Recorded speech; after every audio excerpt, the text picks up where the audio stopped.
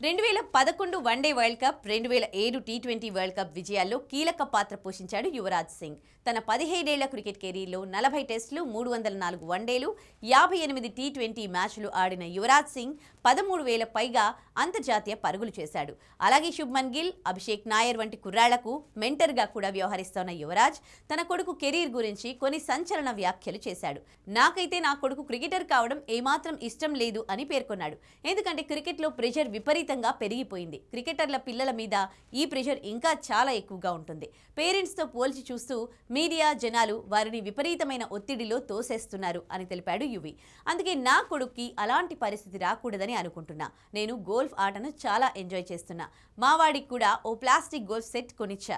ఇప్పటికే కొన్ని షార్ట్స్ కూడా నేర్పించాను. వాడు ఇంకా చాలా చిన్న పిల్లాడు. కొద్ది కొద్దిగా ఆడుకోవడం నేర్చుకుంటున్నాడు. ఓ రోజు వాడు వాళ్ళ పిన్ని వాళ్ళ ఇంటికి వెళ్ళాడు అక్కడ గోల్ఫ్ స్టిక్ కాకుండా క్రికెట్ బ్యాట్తో ఆడుకున్నాడు. అయితే కొన్ని విషయాలను మనం ఎంత దూరం చేసినా వారిలో ఆ జీన్స్ ఉంటుంది. దాన్ని తప్పించలేం. జీన్స్లో ఉన్న దాన్ని తప్పించడం కష్టం కూడా. అయితే ఒకవేళ మా వాడు పెద్దయ్యాక క్రికెటర్ కావాలని డిసైడ్ అయితే నేను ఇంకో దారి లేక చచ్చినట్టు సపోర్ట్ చేస్తా అంటూ నవ్వేశాడు యువరాజ్ సింగ్.